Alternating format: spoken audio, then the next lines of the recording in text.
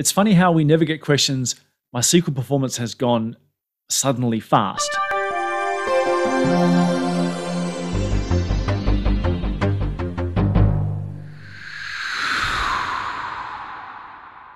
It's, an, it's never a question that comes in. It's always these ones. My SQL performance has suddenly dropped. We've come across this issue of sudden SQL performance degradation due to a change in a plan, but there are no changes to the code or to the stats. How is this possible? And I'll do a demo which hopefully demonstrates this. But here's the probably the, the most common thing that people sometimes struggle with. If you change nothing, the plans can still change. And this is most of the time a good thing. And we'll explain with a demo. But it's one of those things where I've encountered DBAs in the past, and I've been guilty of this myself in the past, where I thought, I've got a system which is running nicely, I'll lock the stats. Or I know the system is relatively static anyway, then amount of changes going on is never going to get me over the threshold where stats will be regathered. Therefore, I'm happy with the way the system is running, the stats aren't changing, and yet somehow the plans all of a sudden change. Just like Oracle is out to get me, or the optimizer is out to get me. What's going on? So let's look at a demo now which talks about this. I'm going to create a table here called orders. And the way I'm creating it here, I've got 100,000 rows scattered over 20 random days starting on the 29th of January, because this will bring us up to today. So if I run that, you'll see that what I've got is starting from 29th of January up until today, around about 5,000 orders per day. I'm a happily successful business and obviously very consistent. I get roughly 5,000 orders every day, every single day. We could assume this table goes back ad infinitum. I just didn't want to bore you with a 1 billion row population. But let's assume the table finishes today because today is the current day. We don't have orders in the future, but the data goes back as far as you'd like to go. Let's gather stats on that table. So there's not, not an issue here of missing stats. And let's do some queries. Now, the kind of queries I'm that my application or ad hoc users are going to do is showing my recent orders. So it's going to be something like select star from orders where the date is greater than sysdate. Now, sysdate for me is just, it's almost uh, 9 p.m., so the day is almost finished. So we haven't come up with exactly 5,000 rows. The database had shrunk it down a little bit less, that it's about 5,000 rows. And we can assume that every day people are going to run these kinds of queries. Show me queries for the current day. So for the rest of this demo, I'm going to hard code dates, but I'm simulating that as days go on, I'm simply using sysdate, but obviously I can't walk forward into the future. So here's my queries now. It's the 17th of February, so I'm looking for all the rows past the 17th of February, and the database says, I reckon there'll be about 5,000. And as we saw from the real data, that's spot on. There's about 5,000 orders per day. We can assume that the optimizer will come up with a good plan when the estimate meets the reality. Now I've got this one. Tomorrow comes along, I need to insert another 5,000 rows. I'm going to get 5,000 rows tomorrow. So here's the 18th of Feb, plus around about, what, 4,964 rows. So tomorrow, people are going to run a queries like this. For the 18th of February, show me the data. I inserted 4,900 rows, and the optimizer's doing a pretty good job still. It says I'm going to get about 4,700 rows. Order of magnitude, not much difference, about the same, so I'm expecting good plans again. Tomorrow comes along, so now it's tomorrow, tomorrow. That's the 19th of Feb, another 5,000 rows. Queries for the day after tomorrow. Now it's dropped to about 4,400 it's still pretty close 4900 4400 i'm probably going to be okay. What happens after a week? So now i'm starting from the 21st of feb another 35000 rows at 5000 orders per day. So that's effectively a week's worth of data. So in a week's time when i ask for the 28th of february now i'm only half. So i'm only now half as good as an estimate. Now i'm starting to run perhaps into trouble because when you start getting these, you know, this is like twice as bad, or the estimate is twice as wrong, or half as wrong, depending on which way you view it, I'm more likely to get things like instead of I wanted a hash join, I might get a nested loop, etc. And let's now continue on even further from 1st of March onward for another 100,000 rows. And now, once again, I'm looking for 20th of March. This will be 5,000 orders on this day, and the database thinks I'll get one. The issue here is what we call boundary conditions. But this demonstrates the fact that all I've done is I've done no changes to the stats, everything's the same, and yet all of a sudden my plans are most likely to start going downhill because we know there's 5,000 rows to be obtained here. The database thinks there'll only be one. Pretty much that's a 5,000 fold order of magnitude problem. And therefore, you're going to have all sorts of dramas there when it comes to coming up with execution plans. Here's where we start having dramas. If I go look at the stats, which I gathered at the start, we have these things called the low and high value, which are collected inside the database. The gathering stats collects this information, and you get this wonderfully cryptic information that comes out here. There's your low and high values. What does that mean to us? Not a great deal. However, in DBMS stats, we have conversion utilities to actually show us that data. So you can simply do convert raw value, and it shows you that the data is as we first gathered stats, 29th of January to the 17th of Feb. At which point you're probably going, well, hold on a second. If I've inserted all these extra thousands of rows over time, then I would regather stats. This is true in this trivial example. But as I said at the start, in a real example, your orders would go back maybe five, six, ten years.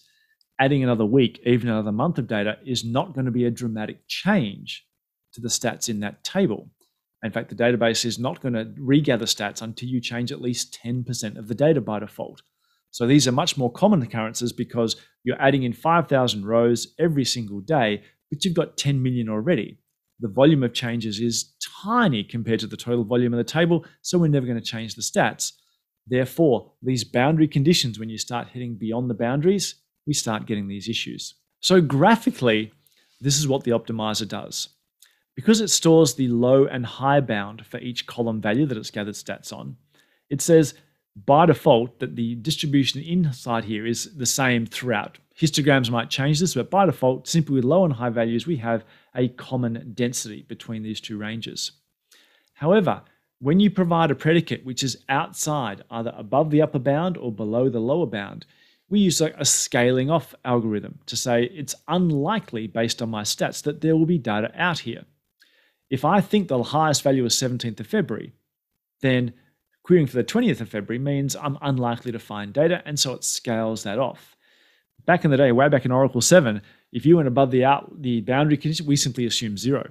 And that caused no doubt heaps of problems. But now we have this thing where we scale it off. You saw we went from 5,000 rows to 4,400 to 4,000, then to 2,000, and eventually all the way down to one as we went further and further away into the future from these high values that the optimizer knew about. So, how do we solve this? One of the cool things, depending on what system you're running, if you're running, say, autonomous or an engineered system, we have a thing called real time statistics in Oracle 19c. And what real time stats does is as you're doing DML, the database will actually track the DMLs you're running and from time to time decide, oh, I can perhaps update the low and high values for various columns. It's not like a full gathering of stats, it's simply monitoring DML as we go. And what we call real time stats is as you do DML, as you keep inserting new rows all tagged with sysdate, it knows that I can push that high value further off into the future. Real-time stats is perhaps the thing that solves all these kind of queries where you're doing select for column greater than sysdate, where column greater than existing high value sequence number, etc. Real-time stats almost instantly solves this, but it's only available on certain systems. The other one is what we call the more frequent gathering of stats. Once again, on 19C on certain systems, we look for stats that might be candidates every 15 minutes. Now, the, still, the stats still have to be stale. We have to cross that 10% boundary. But if we do, then we're much more likely to fix that problem uh, quickly as opposed to waiting for the next evening's statistics run. Some of the options you can do on your own systems is if you know that systems, you have systems that are sort of consistently moving forward with data and you know that you've got issues with boundary conditions, you might, for example, change the percentage thresholds.